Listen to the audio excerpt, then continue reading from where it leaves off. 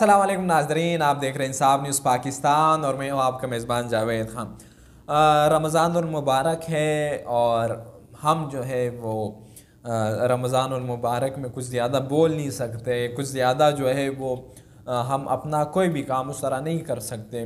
क्यों ना कि बदकिस्मती हमारी समझिए कि हम आ, आ, वो वाले उस मेहनत और मुशक्क़त से नहीं गुज़रते जिसे आम बंदा गुज़रता है, आधा दिन हमारा सो के गुज़रता है और आधा दिन जो है वो मोबाइल इस्तेमाल करने में गुज़र जाता है। लेकिन खैर देर आया, दुरुस्त आया तो पाँच छः दिन स्टे करने के बाद आज एक मरतबा फिर मैं आप सब लोगों से मुखातिब हूँ। बात करेंगे पाकिस्तान में। इस टाइम जो है वो एक सियासी कशमकश तो आप सब लोगों को पता है कि चल रही है। लेकिन मैं आज का जो मेरा टॉपिक है वो ये है कि शेर अफजल मरवत पे जो तनकीद हो रही है, पाकिस्तान तहरीक इंसाफ के अपने बंदे जो है वो शेर अफजल मरवत को गदार कह रहे हैं। और लोग जो है वो अब इस कशमकश में हैं कि शेर अफजल मरवत क्या सच में गदार है? क्या शेर अफजल मरवत जो है वो पार्टी क्या वफादार है? या शेर अफजल मरवत आखिर है कौन?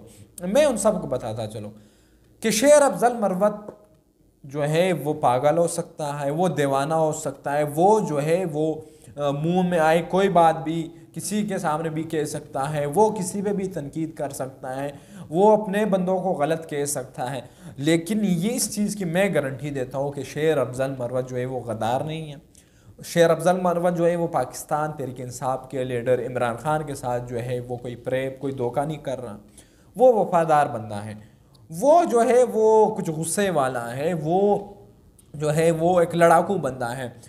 मेरी ख़ुद जब उनसे मुलाकात हुई थी अभी रिसेंटली पार्लियामेंट हाउस में तो मैंने उनसे मुख्तर इंटरव्यू किया था। उसमें मेरा एक सवाल ये था कि आपका मकसद ही ये है, जबकि दूसरे मैंने जब आते हैं अरकान कौमी असम्बली तो वो एक सोच समझ के आते कि आज हमने असम्बली में इस चीज़ पे बोलना है, इस तरह उसके जवाब देना है। मुखालफी को इस तरह जो है उनके सवालों के जवाब या उनके बयान पे जो है वो अपना बयान या अपना रिएक्ट करना है।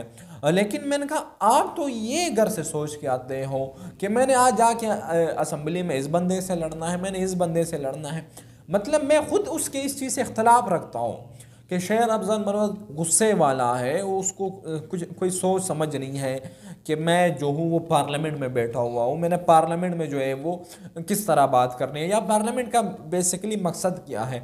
आप इन चीज़ों से जो है वो शेर अफजल से इख्तलाफ कर सकते हैं। उसकी भी ये वजह है कि वो बिल्कुल इस हद तक जो है वो इमरान खान की मोहब्बत में पहुँच चुका है कि वो अब इमरान खान पे एक लफ्ज़ भी बर्दाश्त नहीं कर सकता। वो नहीं जानता कि असम्बली है ये जो है वो ऐवान बाला है, ये ऐवान ज़ेरी है, ये जो है वो वज़ी अजम हाउस है, या ये जो है वो चीफ जस्टिस का कमरा है, या ये जो है वो सुप्रीम कोर्ट है, ये हाई कोर्ट है, वो जहाँ पे भी हो, वो टीवी चैनल पे हो, वो ये नहीं देख रहा कि मुझे पूरी दुनिया देख रही है, वो सिर्फ़ ये देख रहा है कि अगर मेरे लीडर पे किसी ने बात की तो मैं उसका मुँह तोड़ दूँगा। ये जो है वो उसके अपने रेडर के साथ वफादारी हैं। तो जो लोग जो है वो शेर अफजल मरवत पे तनकीद कर रहे हैं, जो वर्कर इस चीज़ में है, मुबतला है, जिनको अभी एक इस कशमकश का शिकार है कि शेर अफजल मरवत आखिर है कौन? Sher Afzal Marwat P T I का सच्चा रहनुमा है। वो जान दे सकता है, वो पाकिस्तान तहरीक इंसाफ को नहीं छोड़ सकता, वो इमरान खान के साथ धोखा नहीं दे सकता। और जो लोग उनको, जिनको शेर अफजल की तारीख नहीं पता वो ये कह रहे हैं कि ये तो इस्टेब्लिशमेंट का मोहरा है, ये पहले कहा था, ये अब इस्टेब्लिशमेंट के क्यों ख़िलाफ़ हो गया है?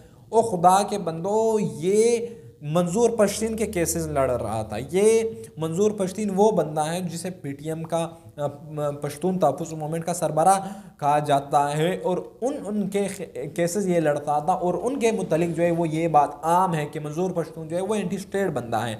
मतलब एंटी स्टेट उसको इसलिए कहा जाता है कि ये जो है वो फौज के खिलाफ बयान देता है। तो ये अब आप अंदाज़ा लगाएँ कि ये तब से जो है वो उन कुतों के ख़िलाफ़ केसेस लड़ता था, उन लोगों का केसेस लड़ता था जो फौज के ख़िलाफ़ थे। फौज के ख़िलाफ़ ये नहीं कि पूरे इदारे के ख़िलाफ़। जो फौज के उन जर्नेलों के खिलाफ थे तो यो, ये तब से उनके कैसे लड़ता था? ये मैसन दावड़ के कैसे लड़ता था? ये मंजूर पश्तीन के कैसे लड़ता था? ये और उन लोगों के कैसे लड़ता था जिनको फौज गद्दार डिक्लेयर करती थी? और ये जो है, वो उनके कैसे लड़ता था कि ये लोग गद्दार नहीं हैं? तो ये तो अब उनको अल्लाह ने शहरत दी, उसको अल्लाह ने इज़्ज़त दी, वो आ गया मैदान में। तो ये जो है, मैं बताता चलूँ कि शेर अफजल मरवत से आप सारे लाख इख्तलाफ कर सकते हैं। लेकिन मैं बहसीत मैं उसका कोई हिमायती नहीं हूँ, ना मैं उसका कोई खैर खा हूँ। मैंने उस पर, मैंने ख़ुद कहा, आप जाके मैं ये मेरे चैनल पे नीचे जाए, उसका इंटरव्यू मौजूद है। मैंने ख़ुद उसे ये सख्त सवाल किया कि आपका मकसद ही लड़ना होता है, आप असम्बली में आते ही लड़ने के लिए हैं। तो मैं उससे इख्तलाफ करता हूँ लेकिन मैं इस हक में नहीं हूँ कि कोई बंदा जो है वो उठे कि शेर अफजल जो है वो गद्दार है। शेर अफजल ने उस वक्त में जो है वो पाकिस्तान में जलसे किए, जब उनकी पार्टी बैन थी, जब उनके पार्टी पे पाबंदी आती जब उनके पार्टी का जो है वो एक नक्शा जो है वो उन्होंने पाड़ के रख दिया था। लेकिन शेर अफजल मरवत ने हर हाल में जो है वो अपने पार्टी के लिए, अपने लीडर के लिए काम किया।